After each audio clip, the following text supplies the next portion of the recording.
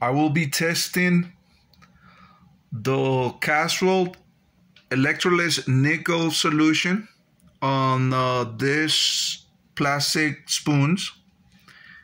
I'll be testing the wetting agent and Angel Gilding uh, two part sprayed uh, on chrome solution. So these are spray on chrome, which is basically silver nitrate and deposits a silver a silver coating on plastic, glass, and other uh, subjects like 3D prints. So I'll be testing the silver,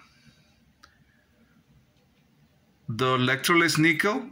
So basically, silver is uh, a form of electroless plating solution, electroless deposition of a metal. In this case, the metal is silver. It's very old. That's how they used to make uh, silver mirrors back in the day. Uh, many people still doing silver mirrors now, but most of the time, the most of today's silver, I mean, most of today mirrors are made of actually aluminum that's being deposited through a vacuum deposition. All right, now this is the wetting agent. Now, what does the wetting agent does?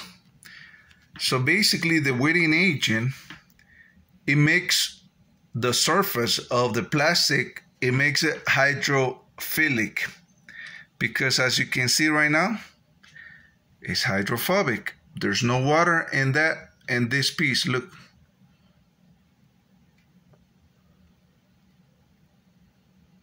No water. The water just it just beats off. Now we want it we want the water to sheet off. So this is the wetting agent. We want the water and the chemicals to to touch the surface and uh, dipping the plastic